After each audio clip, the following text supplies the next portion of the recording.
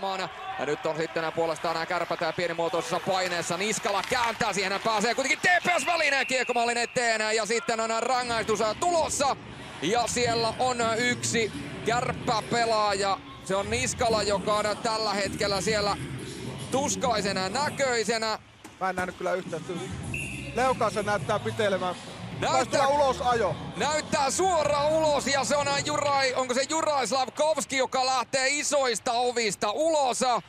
Siinä oli TPSllä erinomainen paikka siirtyä tässä ottelussa johtoon ja samalla hetkellä Jurai Slavkovski hän lähtee isoista ovista ulos ja tämä peli saa kyllä dramaattisena käänteen. Varmaan, varmaan hiastus jossain vaiheessa.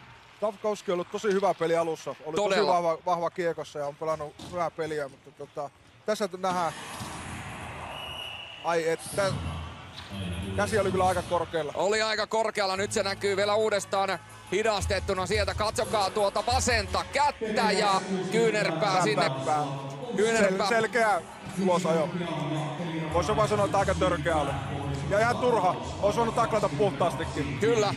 Varsinkin kun miettii minkälainen runko kaverilla. Joo, ihan kohtuullisella ropalla on poikaa siunattu. Niin tota, vähän nyt tunne vei vallan. vallan. Hyvin peli lähtenyt kääntynyt.